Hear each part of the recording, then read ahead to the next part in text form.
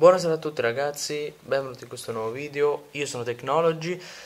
Si è conclusa da una ventina di minuti Napoli-Inter terminata sul risultato di 0-0 Gara che si è giocata allo stadio San Paolo di Napoli, una gara Direi incredibile, non ho azzeccato assolutamente il pronostico, io avevo pronosticato un 2-2, è successo tutto il contrario di quello che credevo potesse succedere, non ci sono state reti, che poi me lo sarei anche dovuto aspettare perché in queste gare poi non è che si segna tanto, però vabbè, considerando che anche, anche con il Milan uno avrebbe potuto pensare che non ci sarebbero state tante reti, alla fine è terminata 3-2, ci sono state 5 reti, reti totali, quindi il calcio è strano, lo sappiamo, ma è anche per questo che ne siamo innamorati quindi ho sbagliato totalmente il pronostico, però diciamo che mh, è stata una gara veramente molto interessante. Da un certo punto di vista potrebbe essere anche noiosa perché l'Inter eh, potrebbe essere, diciamo, ehm, essere raccontata come una partita noiosa perché l'Inter ha fatto pochi tiri in porta, nel secondo tempo ci siamo svegliati un po' di più dal punto di vista offensivo, ma soprattutto nel primo abbiamo tirato poco, e, però siamo stati a dir poco perfetti dal punto di vista difensivo. Un applauso, ragazzi, enorme a Samir Andanovic che ha parato l'impossibile. Una grande partita da parte di Milan Skriniar che ha commesso giusto un paio di errori che con una squadra, contro una squadra come il Napoli sono anche comprensi, comprensibili. Eh, scusatemi, ma sto veramente fuso perché è stata una gara incredibile e strana anche. Miranda diciamo che la sua parte l'ha fatta, sicuramente non è il Miranda di due anni fa, però ha giocato abbastanza bene. Bene D'Ambrosio, bene Yuto Nagatomo, ragazzi, ha fatto veramente molto bene la sua parte, il suo classico compitino, però l'ha fatto bene. Gagliardini un po' così e così, ci sono dei miglioramenti rispetto alle gare eh, insomma delle ultime settimane, però potrebbe ancora migliorare. Comunque ha giocato abbastanza bene anche lui. Borca Valero stesso discorso, un po' meglio, ma stesso discorso. Vesino bene, bravo Mati, bravo Mati Vesino.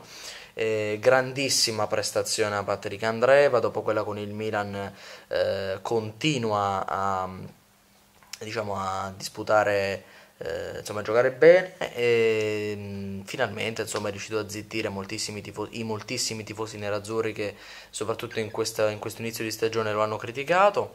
E Perisic così e così ragazzi io ve l'ho detto da, da, un giocatore come Perisic valutato 50 milioni forse anche di più voluto fortemente dal Manchester United considerato come uno dei giocatori più forti di tutto il campionato italiano un grandissimo attaccante una grandissima ala poi conosciamo tutte le qualità di Perisic eh, ci ha permesso di conoscerlo nella maniera migliore possibile. Insomma, da un giocatore come Ivan ti aspetti sempre qualcosa di più. Però oggi abbiamo giocato contro il Napoli e non contro il Benevento, quindi va bene.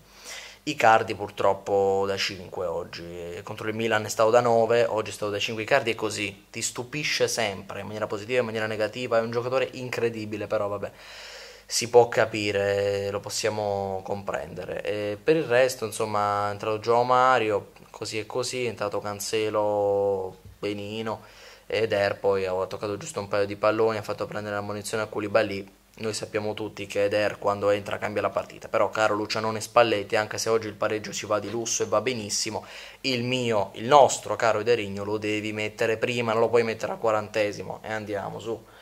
Comunque, un complimento, un grandissimo complimento al Napoli che ha giocato benissimo, ha giocato meglio di noi, eh, però diciamo che secondo me il pareggio è il risultato giusto perché abbiamo difeso bene, perché sta una partita equilibrata, la squadra, la squadra che al momento è al primo posto, la squadra che al momento è al secondo, eh, insomma abbiamo dimostrato di essere ancora inferiori al Napoli, però comunque è stata una gara equilibrata e speriamo che nella prossima che sarà contro la Sampdoria se non vado errato giocheremo in casa al Meazza si possa vincere si possa tornare a vincere però intanto possiamo avere la certezza la sicurezza la soddisfazione di aver fermato il Napoli che non aveva mai perso non aveva mai pareggiato aveva sempre vinto finora in campionato.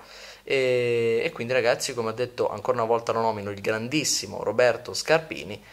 A fermare il Napoli ci pensa l'Inter Lasciate un mi piace, commentate, iscrivetevi al canale se non l'avete ancora fatto. Noi ci vediamo prestissimo con il pre-partita di Inter Sampdoria. Sempre e comunque forza Inter. Ciao ragazzi.